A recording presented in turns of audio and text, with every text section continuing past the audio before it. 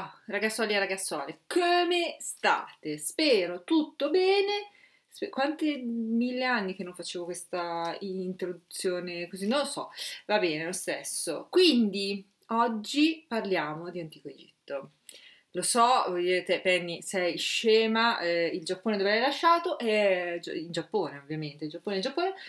ma eh, due giorni fa, non lo so, vabbè, giorni fa sono andata a vedere al cinema il documentario su Tutankhamon. In realtà buona parte di quello che era stato raccontato già lo sapevo, però è sempre bello farselo raccontare un'altra volta. E eh, è bellissimo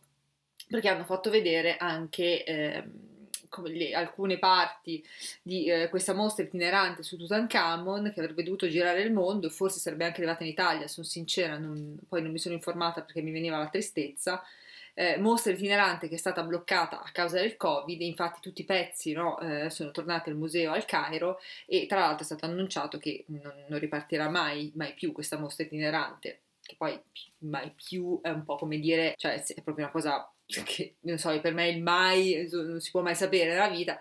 ma eh, Comunque adesso se uno volesse andare a vedere alcuni, dire, pa- pezzi no, di questa collezione che apparteneva alla tomba di Tutankhamon, deve comunque recarsi al Museo al Cairo. Cosa che mi piacerebbe comunque fare prima o poi nella mia esistenza, nella mia vita, andare a fare il giro in Egitto. Chi di voi vuole farlo con me, me lo scrive qua sotto, ci organizziamo, insomma, eh, ci organizziamo, facciamo un pullman. Non sto scherzando, tra l'altro, sappiate che parlo seriamente, andiamo tutti, ci organizziamo, facciamo... Però, ecco, vi dico subito, per me l'Egitto è il sogno della mia vita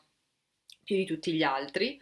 Eh, quindi se venite a fare il giro in Egitto con me, io faccio una cosa da Recconi, Poirot sul Nilo, senza il morto, eh, però tipo, cioè, ma proprio che mi spendo tutti i risparmi che ho, che non sono tanti, sono pochi, ma fa niente perché, cioè, se uno deve farlo lo deve far serio, eh? cioè, qui non ci si risparmia, cioè, qualsiasi gita cazzata che si fa, si fa, si fa seriamente. Quindi, detto questo, eh, volevo in realtà fare un post su Instagram, ci ho provato, giuro, e non mi, non mi sono resa conto che avevo tutti questi libri che parlavano di persone varie dell'antico Egitto, più va- qualche saggio, e quindi mi sono detta, dai, vi faccio un videino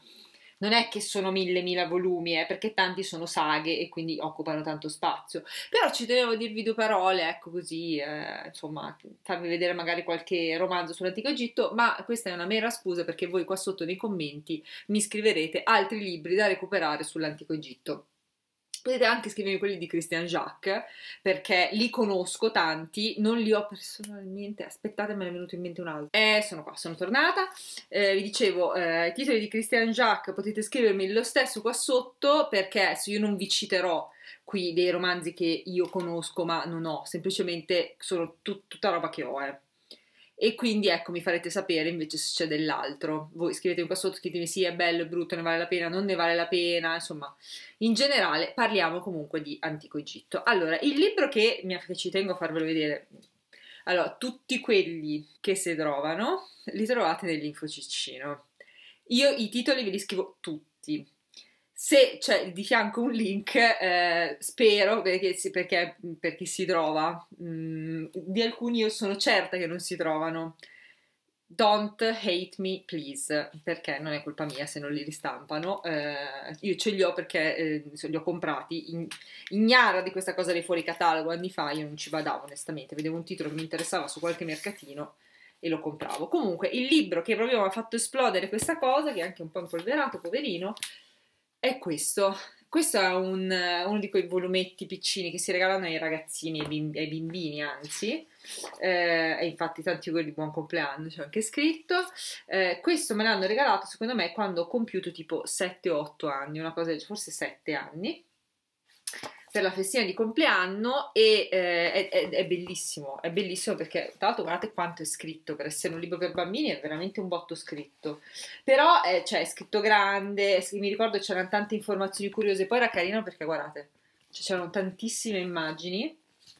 e quindi era bellissimo, era bellissimo per questo motivo e, e, e gli spiegava tipo vabbè, i prodotti del giardino, come la scuola, come funzionava nell'antico Egitto, al mercato, dalla fattoria al pascolo, poi c'era anche, aspettate, vediamo se trovo del faraone, allora, no, qua erano gli uomini del legno, il laboratorio di Pellame, qua vabbè, il ricevimento, no, c'è anche il faraone, adesso sì, il giorno di festa a Tebe, allora, quella città sacra, nel cuore del tempio. Mi ricordo che c'era anche quella tipo della preparazione dei vestiti. Allora c'era. Questo era tremendo, miserie umane che vi raccontava anche di come veniva fatta giustizia e tipo come venivano curate tipo la tosse o varie, o varie malattie, come veniva preparata la mummia ovviamente, eh, fantastico. E poi bellissimo perché c'è questo che adesso vi faccio vedere, c'erano i disegni che io dopo me li rifacevo di, di tutti gli dei dell'antico Egitto stupenda questa cosa, questa era veramente, ovviamente spiegata in maniera molto semplice per bambini, però è veramente molto carino e mi era piaciuto tantissimo, questo qui il pettorale sacro di Tutankhamon, questo famoso. Comunque questo libro è veramente carino, si chiama Viaggi nella storia e carinissimo, veramente carinissimo. E quindi appena sono cresciuta un pochettino, vediamo se c'è scritto quando l'ho comprato questo. Una volta lo scrivevo. Allora, questo è nel 98, quindi avevo 12 anni perché sì, effettivamente questa era la collana. A partire dai 12 anni del, del battello a vapore, c'era il ragazzo che sfidò Ramses il Grande, perché questa ero piccolina, però qua, capito, ero già un po' più grandicella, ma c'avevo ancora sta fissa per l'Egitto, l'altro 24.000 lire, ah, mappede, e era tutta, non so se chi di voi è cresciuto con il battello a vapore si ricorda che c'erano i colori in base alla difficoltà di lettura, quindi c'era tipo azzurro che per i bambini molto piccoli, poi c'era arancio, poi c'era rosso, poi non so se c'era anche bianco che forse era per i bimbi ancora più piccoli, però ecco questo diciamo che era la, il rosso così era proprio per i bimbi grandi e quindi ecco c'era questo. Poi vi faccio vedere un'altra cosa che non è l'originale, me lo sono ricomprata perché in teoria era di mia sorella che si era portato via a un certo punto della sua vita, e, che era questo, che è l'Atlante dell'antico Egitto. Eh, questo appunto l'originale non ce l'ho io, io l'ho ricomprato su eBay questo, perché non so se si trova in altra maniera, l'ho pagato un casino di soldi, credo di averlo pagato 50 euro, ma è stato veramente, sapete uno di quegli acquisti tipo mia sorella l'ha portato via, eh, io dopo, il giorno dopo, la sera stessa, sono andata su eBay ho scritto Atlante l'Antico Egitto, eh, l'ho, l'ho guardato, cioè, li, ho, li ho fatti passare un attimo per vedere qual era quello tenuto meglio, ho mandato il link a mio padre e lui mi ha detto ok te l'ho comprato, io appena l'ho visto ho tirato fuori 50 euro, gli ho dati e dice grazie babbo, così proprio... In, con una, non lo so, una leggerezza che io raramente ho quando devo spendere così 50 euro di, di botta, ma perché questo libro ci tenevo troppo ad averlo, perché è veramente bellissimo, cioè se siete amanti dell'antico Egitto è impossibile non averlo, adesso ve lo apro e vi faccio un po' vedere, cioè fa, è proprio tipo un Atlante ma ha queste immagini stupende e eh, vi racconta di tutte, queste, di tutte queste città, insomma vi racconta eh, del, dei vari momenti del, dell'antico Egitto, qua, te, qua Tebe, vi spiega, vi fa vedere tutte queste foto, insomma Karnak, aspettate, eh? l'Alto Egitto meridionale, cioè è, vabbè, pazzesco, lo sfondo, all'inizio c'è tutto lo sfondo storico, è un Atlante ragazzi, quindi è chiaro che è classico Atlante storico, adesso so che praticamente non si usano più gli Atlanti storici, adesso vi dico la vita quotidiana, e io mi ricordo quando ero bambina lo sfogliavo, questo e guardavo tutte queste immagini bellissime, queste foto stupende, le donne nella società egizia, la religione, stupendo. È il classico Atlante storico che eh, si utilizzavano anche per fare le ricerchine di scuola. Questo è di che anno? Ve lo dico perché secondo me è... sono robe troppo interessanti. Allora, tra l'altro questo qui era eh, pubblicato dalla, da questa casa editrice di Oxford nel 1980. Traduzione dall'inglese, bellissimo ed è stato stampato per l'Istituto Geografico di Agostini nel 1985. Quindi, insomma, cioè, nel senso, fighissimo. Guardate, faccio vedere. Eh, è, cioè, se, se, mi piace l'antico Egitto, questo dovete per forza cercarvelo, signori. E lo trovate eh, su eBay, nel senso che si trovi ancora tranquillamente, senza nessun tipo di problema. Poi per quanto riguarda i saggi, allora questo qua eh, è un libricino, sapete di quelle collane antiche civiltà, ecco questo non l'ho pagato 2 euro, l'ho pagato o 1,50 euro, vabbè ci sono tipo antico Egitto, i greci, i romani e quant'altro, questo qui è sull'Egitto i suoi faraoni e vi parla della Valle di Re e della maledizione di Tutankhamon. Cioè sono quei librini no, carini che si leggono velocemente con un sacco di curiosità, con anche dentro tutte queste queste foto, no? queste immagini, eh, su Carucci, eh, infatti qua vi racconta di Carter, di quando ha scoperto la tomba di Tutankhamon, eh, vi racconta i, i, primi turisti che sono andati a visitare l'Egitto, insomma è tutta una serie di curiosità, c'è niente di... cioè se uno sa già un po' di robe sull'antico Egitto non c'è scritto niente di nuovo, è soltanto un librino di curiosità e secondo me è molto carino tanto perché c'era anche l'antico Egitto e il culto dei morti ma non l'ho trovato e poi ce ne sono vari anche appunto sui romani, sui greci e quant'altro. Infatti se riesco a trovare le altre così quasi me le recupero perché sono proprio carine queste. Sono quelle robine da edicola, come questa, che era una collana da edicola, ma io ero riuscita a trovare. Allora, questo sui mercatini spesso e volentieri lo trovate, ma oltre che sui mercatini, se andate sul sito del Corriere della Sera, ve li vendono i volumi sciolti di questa collana, perché tra l'altro credo che neanche tanto tempo fa le hanno ributtati fuori in edicola, che era la collana sulla vita quotidiana. Io avevo recuperato sia questo in Egitto ai tempi di Ramses, eh, appunto che vi raccontano come funziona la vita quotidiana in quel periodo. Questo ammetto che l'ho leggiucchiato ma non l'ho letto tutto quanto, però eh, non so, mi dà l'idea che sia molto interessante perché vi racconto appunto la famiglia, allora il tempo, l'abitazione, quindi vi spiega tipo ah, i mobili, il matrimonio, la donna, Wow, i figli, figo, i servi e gli schiavi, gli animali domestici, le occupazioni domestiche, quindi la pulizia, l'abbigliamento, il menù, bellissimo. Cioè, ho sia questo che eh, credo quello ai tempi della guerra di Troia, ho recuperato. E comunque ecco sì, è un saggio secondo me interessante e mh, vi ripeto, provate a guardare sul sito del Corriere della Sera perché secondo me si trovano ancora sciolti e magari sull'Antico Egitto ce n'erano anche degli altri, sono onesta non ci ho guardato perché questi li ho eh, recuperati ehm, non mi ricordo su mercatino o in scambio da qualche parte, ma perché è un po' che ce l'ho, eh. Ma era in realtà una collana molto bella. Adesso sto guardando qua il piano dell'opera perché c'è veramente vi copre una tutta praticamente la, la storia del, del mondo, eh, tipo c'è la vita quotidiana in Cina alla vigilia dell'invasione mongola, la vita quotidiana in Italia nel Settecento, la vita quotidiana dei vichinghi, la vita quotidiana in Francia ai tempi della rivoluzione, la vita quotidiana degli eserciti di Alessandro Magno, cioè bellissima.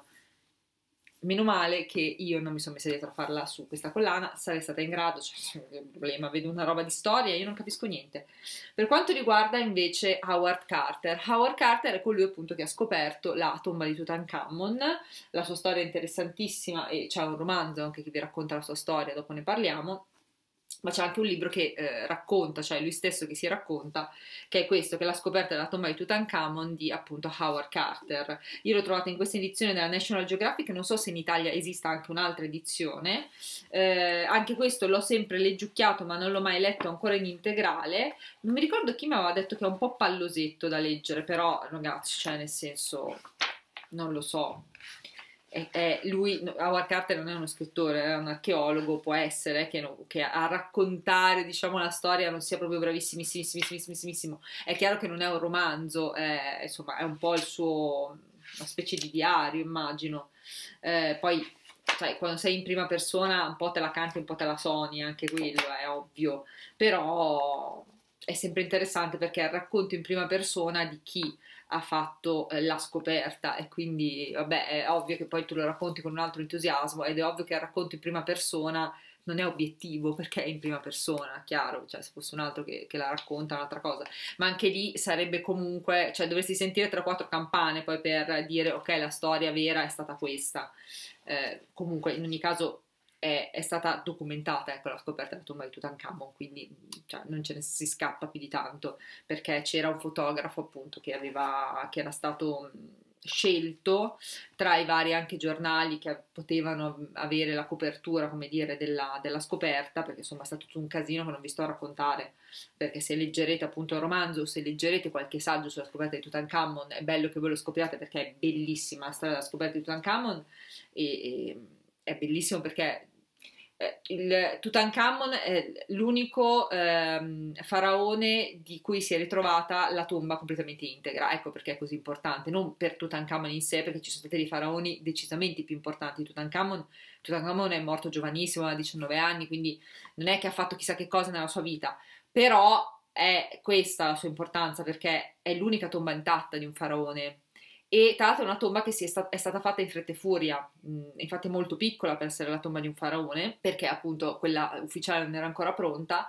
e vedendo quella di Tutankhamon si può solo immaginare cosa fossero, cosa ci fosse dentro le tombe, quelle di, in, di faraoni molto più importanti di lui. Cioè io non oso immaginare che poteva essere per esempio la, la, la tomba di, di, Ramses II, cioè una roba, boh, cioè, è inimmaginabile, ovvio. E comunque questo è molto bello perché chiaramente essendo National Geographic è pieno di fotografie stupende, perché non gli si può dire nulla, ma eh, qualsiasi anche rivista eh, appartenente al gruppo National Geographic, che sia appunto il classico National Geographic o storica, che è una rivista che amo tantissimo, eh, ha delle foto che, che valgono eh, il prezzo della rivista, che in realtà costa pochissimo storica rispetto a, a, vari focus storia e quant'altro. Non so se siete appassionati di riviste di storia, ultimamente ce n'è veramente un bordello assurde.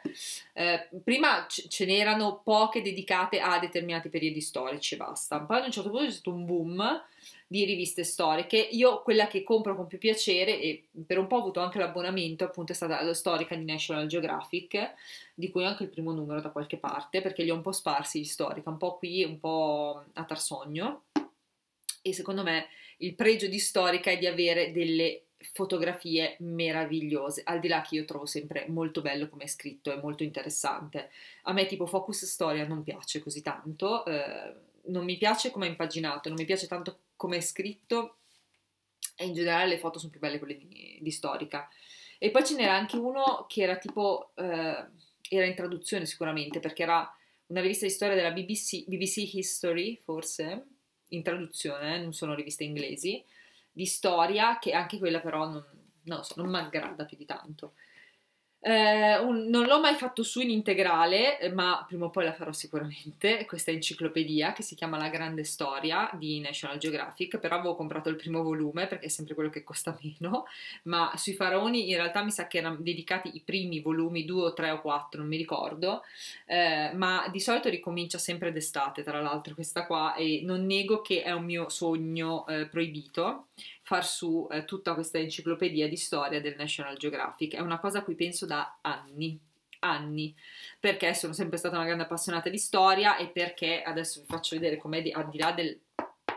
Cioè, io impazzisco per queste cose, scusate, è più forte di me, io impazzisco. Io ci sono cresciuta con le enciclopedie perché mio padre è sempre stato un fissato delle enciclopedie. In casa mia c'era l'enciclopedia che ne so, della seconda guerra mondiale, l'enciclopedia degli animali, l'enciclopedia medica, l'enciclopedia, mio padre non è medico, eh, l'enciclopedia tipo gli Atlanti, cioè un botto di Atlanti in casa mia, quelli rilegati, bellissimi, alti, grossi, così che erano più grossi di me di quando ero piccola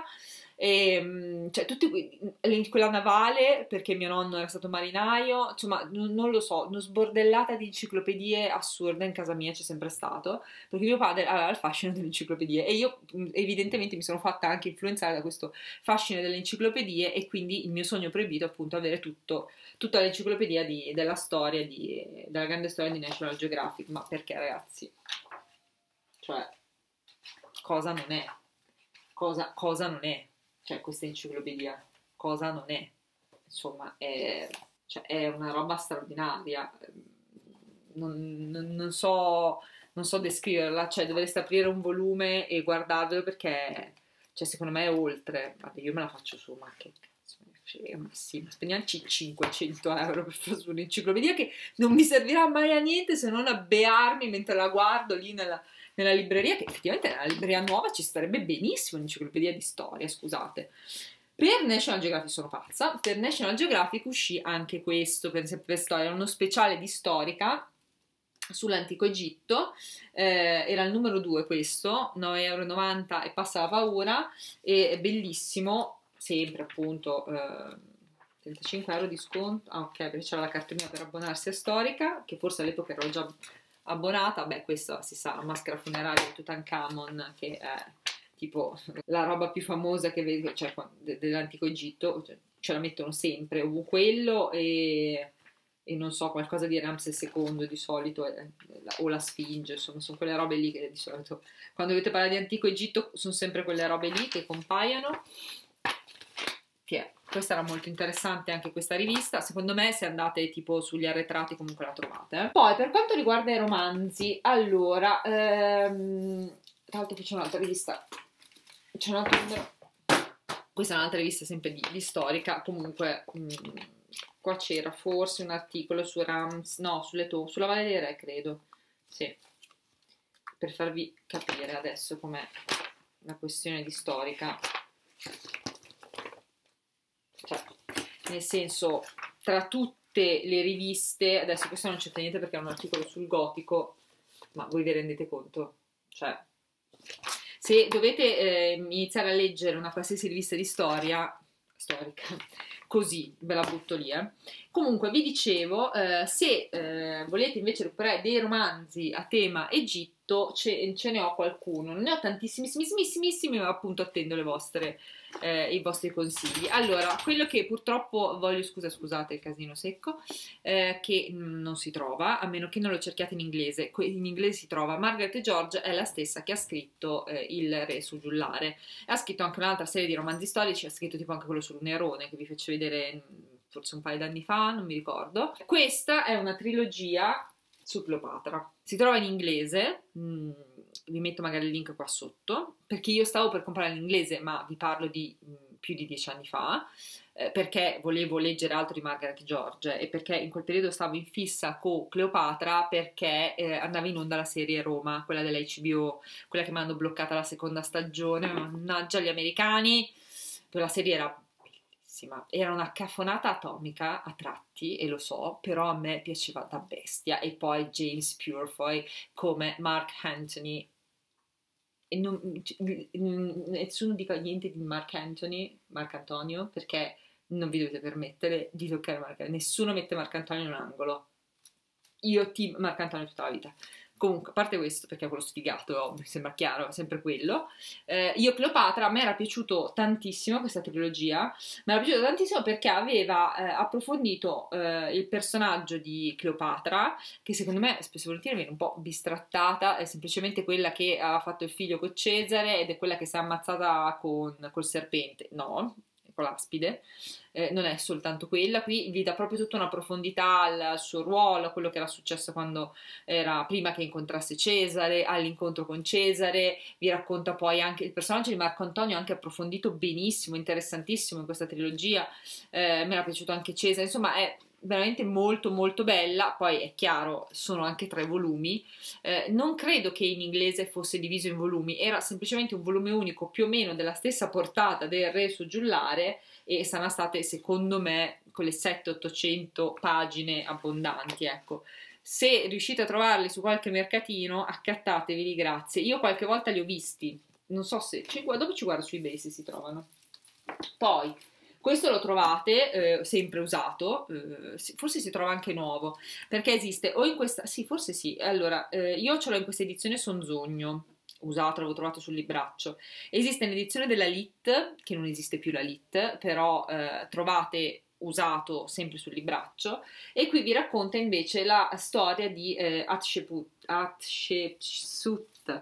perché tutte le volte faccio una fatica bestiale a dirlo, che è stato l'unico faraone donna eh, della storia de, de, dell'antico Egitto. È un po' più complessa di così la storia, eh, ma vi invito ad andare a leggere questo romanzo che, eh, di cui vi parlai, forse anche qui non tantissimissimo tempo fa. Eh, secondo me la parte storica è interessantissima, c'era qualcosa che non mi aveva convinta al 200% di questo romanzo, ma la parte storica è talmente affascinante, il personaggio di lei è talmente affascinante interessante che secondo me comunque vale la pena di recuperare eh, questo romanzo e quindi eh, assolutamente assolutamente leggetevelo, se poi amate la storia dell'antico Egitto è impossibile veramente che non, che non recuperiate questo libro. Eh, so che è andato in onda poco tempo fa perché me l'ha detto eh, Elisa, se non ricordo male, un documentario, però non mi ricordo se era su Focus o su appunto il canale National Geographic, sempre su di lei, perché me ne ha detti due, uno su appunto um, Hatshepsut e uno su Cleopatra però se lo trovo ve lo metto qua sotto, quindi non vi preoccupate, tutte quante le info sempre nell'info ciccino. Per quanto riguarda la questione di eh, Howard Carter e della scoperta della tomba di Tutankhamon, di questo sono sicura che ve ne ho parlato di recente, credo a gennaio-febbraio in un tea time. L'affare Tutankhamon, questa è l'edizione vecchia di Bompiani, ma lo trovate nell'edizione nuova, è la stessa cosa, semplicemente l'hanno ristampato. Io l'avevo trovato su un mercatino, ma eh, lo trovate tranquillamente, quindi recuperatevelo. È un romanzo molto interessante, intanto scritto da Christian Jacques. Christian Jacques, a lei mi è venuto in mente un altro libro, aspettate qua un attimo. Quindi vi stavo dicendo che eh, è scritto da Christian Jacques. Christian Jacques, lo sapete, ha scritto una marea di romanzi barra saggi sull'antico Egitto, è un personaggio eh, insomma importantissimo, romanziere, egittologo, ha vinto un sacco di premi, insomma ha scritto di tutto e di più per quanto riguarda l'antico Egitto, quindi eh, è impossibile non incappare in Christian Jacques eh, prima o poi se siete appassionati di Antico Egitto perché c'è di tutto e di più scritto da lui. Eh, io lo trovo un romanziere straordinario, a me piace tantissimo come lui racconta l'antico Egitto, Se, senti proprio, percepisci tutto l'amore che lui ha per l'antico Egitto, quindi è impossibile non innamorarsi perché voi veramente vedete l'antico Egitto attraverso i suoi occhi innamorati e quindi voi vorreste partire, fare una gita sul Nilo con lui e appunto visitare l'antico Egitto con lui. Fermi. Io credo di aver sottovalutato un po' la mia fissazione per l'antico Egitto, perché mano a mano che vi parlo mi vengono in mente appunto i titoli che avevo sparso ancora per casa e che non lo so, il mio cervello me li aveva fatti mettere da tutt'altra parte così facevo finta di non averli, invece li ho tutti questi libri sull'antico Egitto. Vabbè, e quindi nulla, e quindi questo romanzo vi racconta appunto di, tutto, di tutta la vita di Howard Carter, di, da, da, sin da quando è giovane al, finché non arriva in Egitto, ai primi scavi, al suo incontro, con, il suo incontro fortuito con Lord Carnarvon, il, quando appunto eh, eh, poi Lord Carnarvon prenderà la licenza per fare in modo che lui scavi in un determinato punto dove Howard Carter è convinto che si trovi la tomba di Tutankhamon, tutta la storia di Lord Carnarvon, quindi è assolutamente un romanzo completo, interessantissimo, eh, bellissimo, affascinante impossibile da non leggere se non siete appassionati, cioè se siete appassionati all'antico Egitto dovete assolutamente recuperarlo. Questi tre io non li ho ancora letti, mi, erano, eh, me li aveva regalati Angela, Cannucciari, eh, pagine di zucchero, anche questi sono su Cleopatra, li voglio tantissimo leggere, mi incuriosiscono tantissimo, lei me ne aveva parlato un sacco bene e um, erano stati stampati a Newton e Compton, secondo me diverti- devono essere un divertimento pazzesco da leggere questa, questa, trilogia, questa saga di Cleopatra, io cioè, già dalle copertine, insomma da, dallo stile e tutto, secondo me sono proprio quei libri che te ne leggi uno dietro l'altro perché ti, ti prendono e non riesci più a mollarli e quindi assolutamente eh, imperdibili se, se, siete fan di, di questi tipi di romanzi storici molto avvincenti. Christian Jacques, è ovvio che io non posso non citarvi anche questo. Scusate se salto di palo in frasca, ma perché li ho tutti sparpagliati in giro i libri. Um, I romanzi di Ramses, che sono cinque volumi, adesso io non ve li faccio vedere tutti perché sono anche piuttosto, come dire, ciccioni, eh, vi racconta eh, appunto eh, l'autore in questa saga enorme, portentosa, epica, tutta la vicenda, tutta la storia appunto del regno di Ramses II. Ramses II ha, vissuto e eh, per tantissimi anni ha avuto un, un, regno lunghissimo, non so se è il regno più lungo eh, di qualsiasi altro faraone nell'antico Egitto, però ha avuto una vita veramente incredibile e Christian Jacques eh, ve la racconta anche qui con una passione, un amore eh, per la vicenda storica, per il personaggio, per eh, proprio l'antico Egitto. Cioè ci sono delle parti in cui vi, vi racconta il Nilo al tramonto, racconto, no? E, e cioè è una roba, vi giuro, che vi sembra di essere lì, vi sembra veramente di sentire il, non so, il profumo, che poi che profumo avrà, non lo so perché non ci sono mai stata... Non lo so, percepite proprio l'aria dell'antico Egitto, insomma è, è meraviglioso, è una cosa incredibile, la calura, no? Questo è stupendo, stupendo, sentite quasi i profumi che vi racconta, io trovo che lui sia un romanziere straordinario e che nella saga di Ramses ha dato ovviamente il suo meglio, è una saga che tra l'altro oh, mi ricordo quando uscì, forse uscita, può essere che uscì in edicola, che eh, andava a comprare un volume per volta in edicola, non lo so, però ho questo vago ricordo, eh, uscì nel 97, eh, eh sì, perché io mi ricordo, ero piccolina, però ho questo ricordo perché la vedevamo ov- la vedevo ovunque il romanzo di Ramses, solo che io mi sentivo ancora, ero piccola ovviamente, e quindi mi dicevo, lo leggerò quando sono grande, lo leggerò quando sarò grande, e, differ- e effettivamente dopo l'ho letto da grande, eh, se non mi ricordo quanti anni fa, un volume per volta preso in biblioteca. Poi un giorno appunto al mio mercatino preferito che è l'Emmaus, eh, trovai tutti e cinque volumi e secondo me tutti e cinque li ho pagati 10 euro, una cosa del genere, cioè costavano tipo 2 euro l'uno, ma si trovano, a parte che adesso li ritrovate nella nuova edizione, eh, che anche qui non cambia nulla da quella vecchia, eh, semplicemente si trovano, ecco, per, banalmente per dire questo, ma se bazzicate nei mercatini i eh, romanzi, questi qua di Ramses e Christian Jacques, li trovate sempre, è impossibile veramente non riuscire a, non trovarli, cioè c'è veramente ovunque, quindi io mi sento di dirvi di dargli una possibilità, perché magari alcuni di voi dicono su cinque volumi sono tanti, anche perché sono belli ciccioni, eh, non sono piccolini. È scritto grande, eh, vi dico questo. Però, cioè, sono comunque 400, questo è 400 pagine e gli altri più o meno, secondo me, siamo lì lì sulle 400 pagine, quindi fate 400 per 5. Cioè, è una saga abbastanza importante. Cioè, adesso ve li prendo tutti che cioè sì, nel senso, se provate a dire ok, la unisco, capite che insomma è due volte hit, credo, eh, quindi è abbastanza, come dire, poder- come vi dicevo, è poderosa, no? è importante come saga, però insomma, se amate l'antico Egitto, anche questo è proprio un romanzo imperdibile, è tipo, non so, credo che sia adesso come adesso, che forse è il romanzo più importante e più famoso scritto sull'antico Egitto, e quindi, e quindi io gli darei comunque un'opportunità. Poi uno magari potete anche dire a me non entusiasma, a me non prende molto come scrive Christian Jacques, però vi ripeto, credo che per quanto riguarda l'antico Egitto, Christian Jacques sia veramente il, il migliore che potete trovare momentaneamente, perché è quello che, seppur romanzando, si attiene di più alla storia e quindi cioè, se siete appassionati anche proprio di, di storia, non volete soltanto, come dire, il racconto, e allora è imperdibile. Eh, tra l'altro di Christian Jacques è questo che mi sono scordata prima di farvi vedere, che è questo saggio, che è Le donne dei faraoni, che vi racconta appunto di tutta una serie di personaggi femminili dell'antico Egitto, non soltanto quelli più scontati, diciamo, quindi qui ad un certo punto vi racconta sia Nefertari che fu la moglie di Ramses II, ma anche della sua sposa Ittita, eh, vi racconta sì, è vero, di, eh, di, Cleopatra, ma poi vi racconta anche di, di certe regine, comunque di, certi, eh, di certe donne appunto che, che vivevano nel, eh, alla corte, diciamo, del faraone, che non, magari si sono sentite nominare un pochettino meno rispetto a tante altre. E quindi ecco, proprio per questo vi consiglio di di andare a recuperare anche questo saggio. Sono quelli che appartengono, come dire, alla collana dell'Oscar Storia. Tra l'altro a me quando erano impaginati così tutti in nero, secondo me erano di un'eleganza fuori misura. So che lo state vedendo ed è proprio questo, è del Dio del fiume che mi ero scordata prima di farvi vedere. Eh, Wilbur Smith ha scritto tutta una saga dedicata all'antico Egitto con protagonista Taita, che è questo, è uno scriba, vero? io questa l'ho letta non mi ricordo quanti 8 trilioni di anni fa. E eh, allora mh,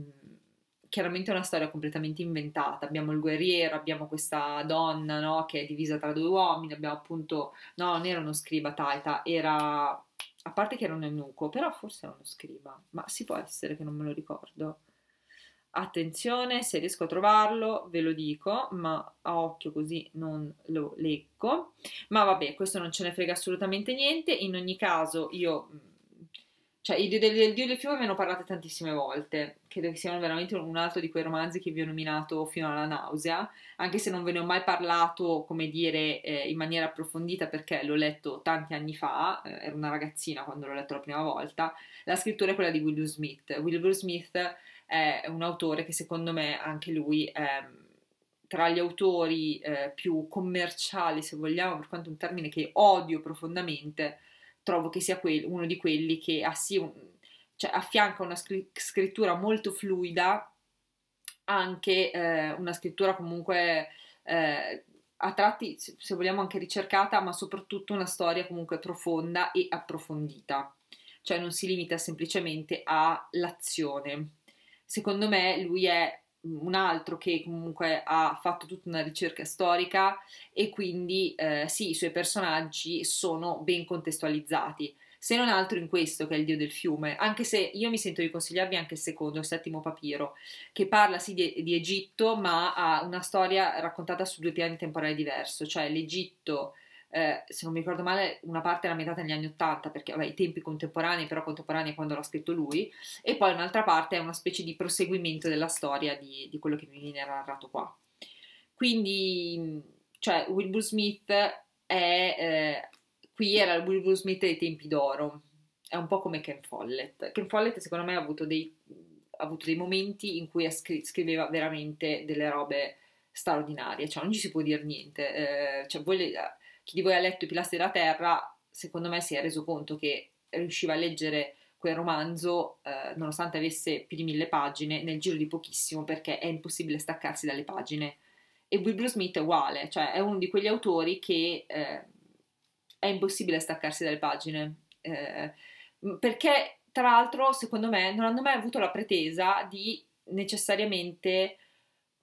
essere quelli fighi, essere quelli che dovevano scrivere tutto in modo fighettino per, farsi, per fare in modo di avere anche, come dire, il, il plauso anche di una certa cricca, forse perché all'epoca tutte queste rotture di balle che ci sono adesso non ci sono, non lo so. Eh, adesso c'è questa cosa, lo sapete che io non lo amo, non mi sto qua a ripetere questa cosa di autori di serie A, di serie B, e pare che un autore siccome vende un botto è commerciale, che poi cioè, lasciamo perdere questo discorso, non voglio ripetermi un'altra volta, ma Wilbur Smith secondo me è veramente un autore che io vi consiglio di recuperare se non l'avete mai letto. Se amate l'antico Egitto, partite dal Dio del fiume, se non amate l'antico Egitto volete comunque provare a leggere Wilbur Smith, Il Dio del fiume, assolutamente, romanzo storico incredibile, scritto benissimo, cioè c'è un motivo se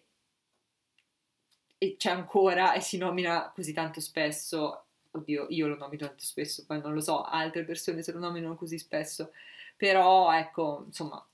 credo che sia in tantissime case, tra l'altro, l'Io del fiume, e quindi non dovresti neanche far fatica a recuperarlo.